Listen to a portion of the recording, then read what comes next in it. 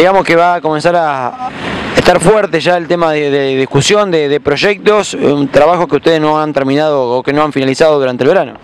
No, no, eso ha sido uno de nuestros caballitos de batalla, ¿no? Siempre presentar proyectos. Este, casualmente ayer estuvimos, se concretó un decreto eh, del departamento este, legislativo, ¿no? Del Consejo Liberante más específicamente, de inauguramos una placa en el Observatorio Astronómico, o sea que se va trabajando en el verano, digamos, y uno este, en este periodo estival va recogiendo la inquietud de los vecinos para después transformarlas en proyectos cuando comiencen las sesiones, ¿no?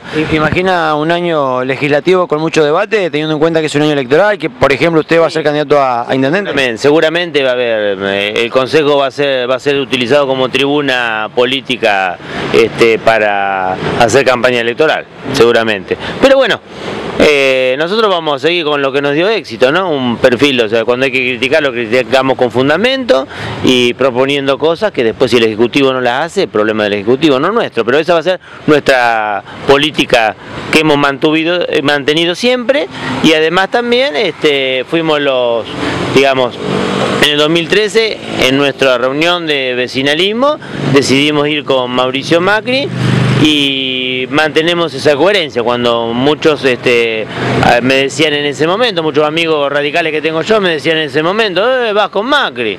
Bueno, yo hoy veo con buenos ojos que este, la convención radical haya aceptado incorporarse a este frente, así que bueno, este, uno eh, no cree ser el, poseedor de la verdad absoluta, pero bueno, vamos por el buen camino y la estrategia que estamos utilizando es muy buena. ¿no? Hoy todo dice que habría una eh, interna entre usted, Fal, Benítez y Flores. Aparente hoy, claro, claro, claro. Pero eh, digamos, hasta el 9 de junio, cuando se creo que es la fecha que se, se, cierran los frentes, creo que se este frente se va a llamar Juntos por Buenos Aires, tengo entendido. Este frente se va a llamar Juntos por Buenos Aires y bueno, ahí viene el cierre de los frentes, donde los apoderados legales del MIC firmarán el, el, incorporarse a este frente.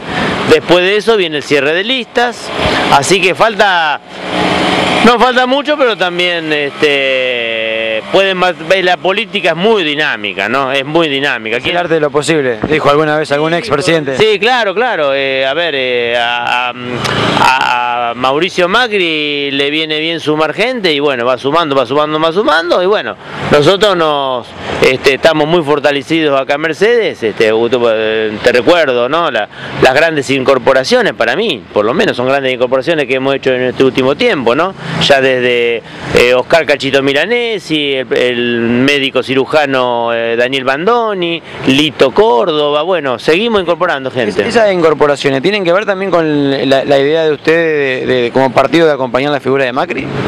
No, no, o sea, eh, a ver, se incorporaron fundamentalmente por el MIC sin compramos por el MIP. Y por supuesto adhieren a la política de que nosotros este, no, hacemos convenciones, no hacemos reuniones chiquitas, somos un partido chico. Pero bueno, este, de acompañar a Mauricio Macri a candidato a, a presidente, están, están todos de acuerdo. Los que vienen al MIC hoy saben eso.